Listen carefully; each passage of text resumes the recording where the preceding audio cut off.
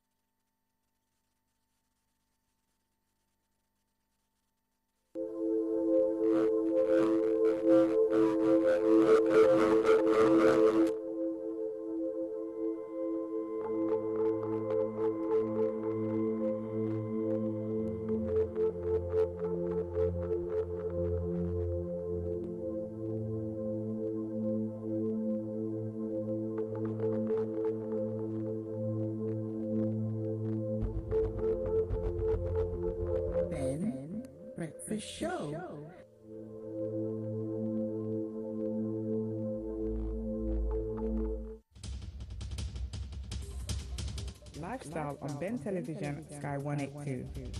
Every Friday, 10 a.m. to 12 p.m., we give you all the information relating to entertainment and up to date news from the Caribbean.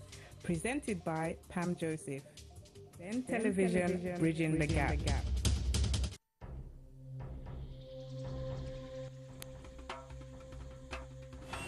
Confusion that we have in Lagos is also the political situation. And on Politics with KO, what we try and do is to go beyond the confusion and get something really meaningful.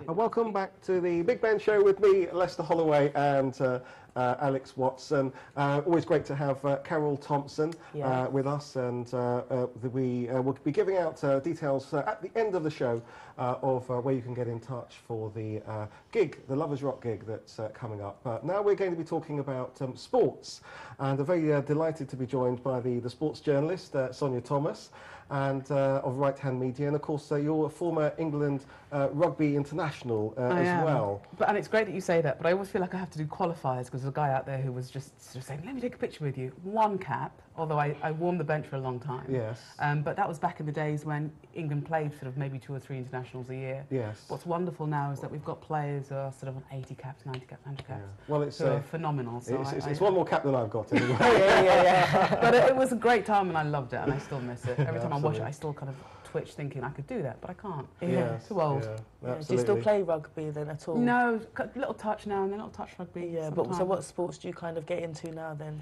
Now I'm just trying to sort of just keep active in the gym and I love squash. Right. Absolutely love okay. squash. I'll chase that little ball anywhere it wants to go. Right. absolutely. Luckily it's limited by the walls of the court, so I'm good, but I, Yeah. I enjoy keeping fit. T- Talking about uh, sort of chasing the ball all over the place, of course, the, the Women's World Cup uh, going on um, at the moment. Uh, have you been following that? I caught one match. I uh, ought to be following it, England, but um, England versus France. yeah, what, were your thoughts on that? Uh, my thoughts were that um, I mean I've watched you know women's uh, football before, and uh, I find it you know it's, it's very very skillful actually, and I mean there's, there's less aggression in there, but uh, than the men's game, but, uh, but it's very very good to watch. Um, I thought that France were, were excellent, They were. uh, especially they at the back. I thought that they were very very good, and uh, one of their strikers as well was uh, you know looked, looked pretty uh, on form. They did, they did. England looked a little bit um, lackluster, couldn't really get forward. Uh, you had, uh, what's, it, what's her name, uh, Aluko, uh, Eni Aluko, who was just Mm. sort of chasing shadows up front. She looked very good.